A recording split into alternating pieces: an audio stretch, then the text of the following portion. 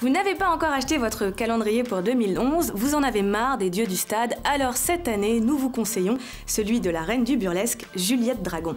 La meneuse du cabaret des filles de joie se met à nu chaque mois. En regardant ses photos, c'est sûr, le temps s'arrêtera.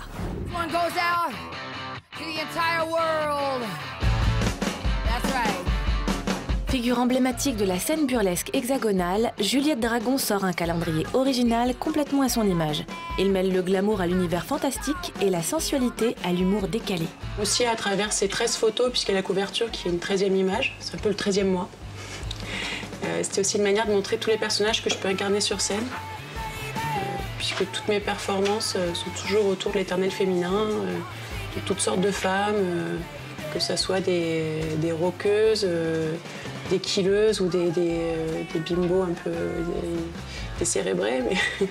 Donc c'est toutes sortes de femmes un peu sexy, j'espère en tout cas qu'elles sont sexy et séduisantes. Euh, pour ce qui est de la création de l'univers, en fait, moi j'avais déjà des idées précises de ce que j'aurais voulu faire euh, dans le cadre d'un objet qui serait un calendrier pin-up. Et j'ai soumis des propositions à Juliette, qui elle aussi m'en a soumise. On a un peu on a un peu vidé nos bibliothèques justement de pin-up et de livres, on s'est montré des choses, on s'est mis d'accord sur ce qu'on aimait.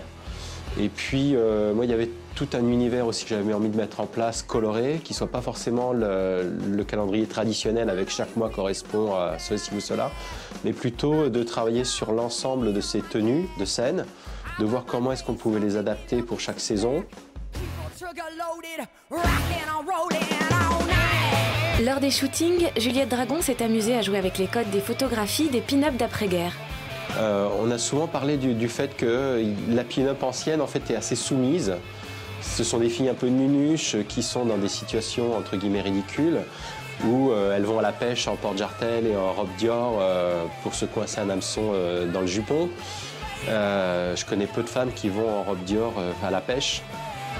Mais bon, euh, et, justement, on a commencé à discuter avec Juliette du fait de l'image qu'elle projetait, elle, d'une fille forte et libre, et que peut-être on pouvait euh, travailler sur cette image et, euh, et entre guillemets, l'exploiter sur une série pour décrire son univers. Donc l'intérêt aussi, c'était sur, sur les 12 photos, plus la photo de couverture qui est un nu, euh, de développer l'univers de Juliette et, euh, et, de faire, et de faire se croiser nos univers. Les thèmes du calendrier 2011 sont d'une grande profondeur politique et sociale.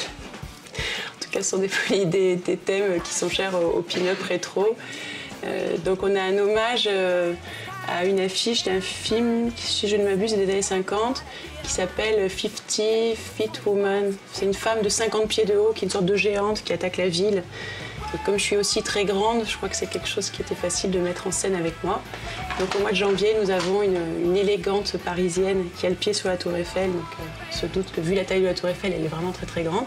Mais elle a un très joli manteau, euh, joli corset, mes deux préférés, si vraiment il faut en choisir, je crois que c'est le chaperon rouge et l'infirmière qui ont ce point commun, toutes les deux au premier abord, avoir l'air euh, très mignonnes. Et puis quand on cherche un peu, on se rend compte qu'elles sont quand même finalement assez dangereuses, puisque c'est un petit chaperon rouge qui a, fait la peau du loup et qui lui a arraché la queue. Et que c'est une infirmière euh, qui a plutôt tendance à scalper les gens qu'à les sauver. Donc je trouve ça rigolo, mais ça se voit pas tout de suite. Voilà.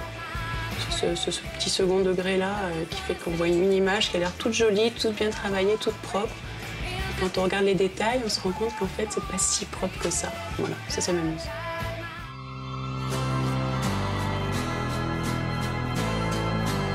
Christophe Luxereau est un photographe reconnu dans le milieu de l'art contemporain. Même si son univers paraît éloigné du new burlesque, il partage avec Juliette Dragon l'amour du rétro. Ben, nous, on a fait ce calendrier euh, en pensant à, tous les gens qui, comme nous, sont des amoureux des pin-up rétro, qui ont peut-être une culture assez rock'n'roll, mais pas seulement, qui sont ouverts d'esprit, qui aiment, euh, qui aiment les pin-up rétro, mais qui aiment les pin-up modernes aussi. Euh, nous, il y avait beaucoup de fans de nos spectacles euh, au niveau de la troupe du cabaret des filles de joie, qui depuis des années disaient Oh, vous devrez faire un calendrier. Ça faisait pas mal d'années que je voulais le faire aussi, puisqu'il y avait vraiment une, réelle demande. Pour le calendrier, en fait, L'intérêt, c'était de rester au plus proche de l'image de, Juliette, qu'elle génère déjà euh, d'une façon assez forte. Elle a déjà un public acquis, euh, large. Et c'était un peu euh, l'objet qu'attendaient aussi ses fans, les gens qui viennent la voir pour les shows, pour les concerts. Et c'était vraiment l'idée de, prolonger ça. C'est-à-dire que les gens puissent aussi revenir chez eux avec un bel objet, euh, qui soit aussi représentative de Juliette. ne surtout pas essayer de la faire rentrer dans une image qui n'est pas elle, parce que ça, je pense qu'on aurait été euh, à la catastrophe, mais justement de pouvoir exploiter déjà à partir de ce qu'elle générait comme image, euh, quelque chose de, supplémentaire, un petit supplément en plus de, son image. Je crois que de, fusionner nos deux univers, bah, c'était un, un, plaisir qu'on avait tous les deux. Lui, peut-être de s'encanailler vers le rock'n'roll, et moi d'avoir accès à, une image euh, très propre, très lisse, mais d'y amener euh, ce second degré qui m'est cher et qu'il aime aussi. Hein. Donc euh, c'était plein, plein, plein d'amour, plein d'affection de, travailler ensemble et de mélanger tout ce qu'on aime à travers ce petit projet qui me tenait à cœur.